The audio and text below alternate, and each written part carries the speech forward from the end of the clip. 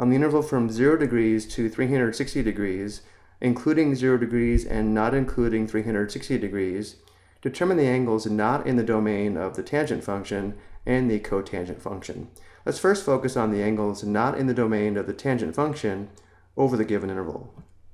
Remember, tangent theta is equal to y divided by x, and since division by 0 is undefined, wherever x is 0 on the unit circle, the tangent function value is undefined, and therefore those angles where x is 0 are not in the domain of the tangent function.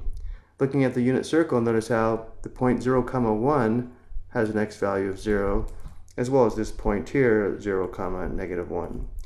Which means when the terminal side of the angle in the standard position is along the positive y-axis or the negative y-axis, we would have division by 0 and the tangent function is undefined, and therefore these angles are not in the domain of the tangent function.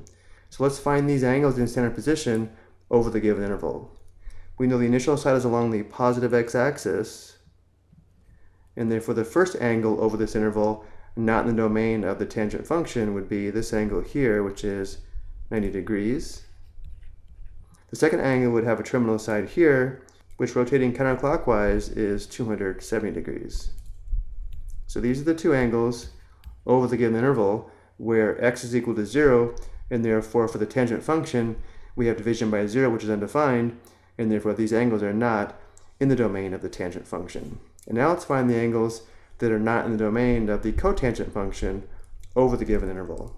Since cotangent theta is equal to x divided by y, notice how here we have division by 0 when y is 0, and therefore the angles where y is 0 are not in the domain of the cotangent function. So going back to the unit circle, notice how y is 0 at this point here, 1 comma 0, as well as this point here, negative 1 comma 0. Which means when the terminal side of an angle in standard position is along the positive x-axis or the positive y-axis, we would have division by 0 for the cotangent function, and therefore these angles are not in the domain of the cotangent function. So let's find the angles over the given interval. Notice how here the initial side and terminal side would be the same, and therefore it's going to be 0 degrees or one complete revolution, which would be 360 degrees. But again, going back to the interval, notice how the interval includes 0 degrees, but does not include 360 degrees, and therefore we list 0 degrees. And the second angle is going to have a terminal side here, which rotating counterclockwise is 180 degrees.